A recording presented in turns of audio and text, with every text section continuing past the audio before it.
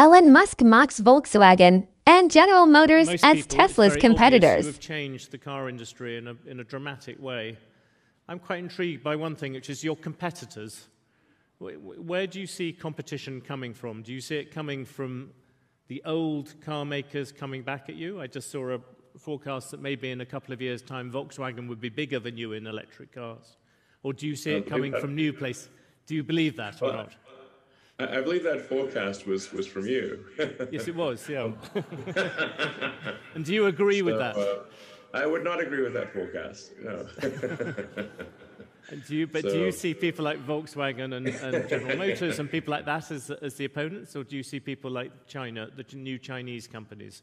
Where do you see the most vibrant competition in electric cars? I have to say that I, I am very impressed with the, the, the companies and the car companies in China and just in general.